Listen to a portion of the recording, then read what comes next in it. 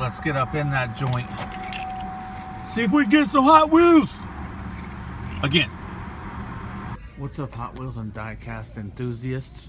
Today I'm at Target and I got here when the gentleman was stocking Hot Wheels which is nice. This, my particular Target has been out for about two weeks dry, which is pretty strange. We usually have some. There weren't even any in the dump bin. But the ones I do like, I already have some of these, but the ones I do like out of this case is that one. That one's really nice. The 442 Olds, the Gulf 442 Olds, that one is awesome. I'm a big fan of the Gulf paint scheme. I think there's a lot of people who are. The Porsche Safari. that's pretty neat. I don't have that one yet. I'll put that on the back burner. The 49 Ford.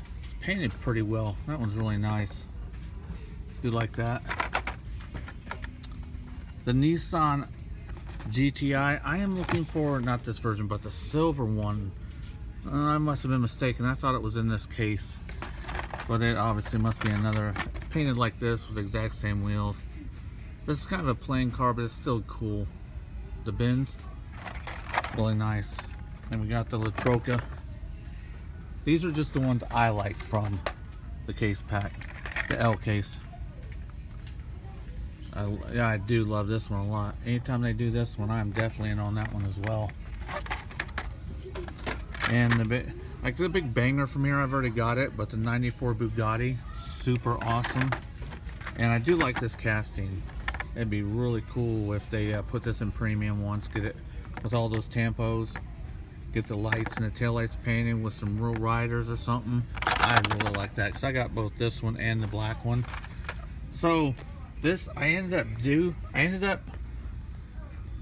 getting my hands on a unicorn case because we have here the super treasure hunt. Ah!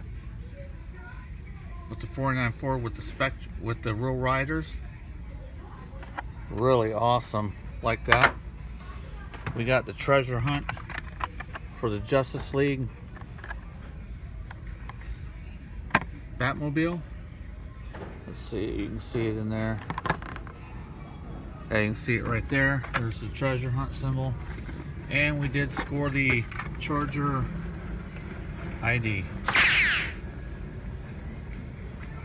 So a really good day in the world of Hot Wheels collecting for myself. I usually don't find a lot of these, but the gentleman was nice enough to kind of let me open it. But and I did put it on the shelf for him because that was only right. But with that being said, oh, we got a couple more things. This case, this this one just popped. I've showed it before, I think, but and I have this one. This one is just freaking awesome and I'm not really in on the rest of them. McLaren, the Bugatti. If I want to get the others, I, I might have gotten the Bugatti today, but I'm good.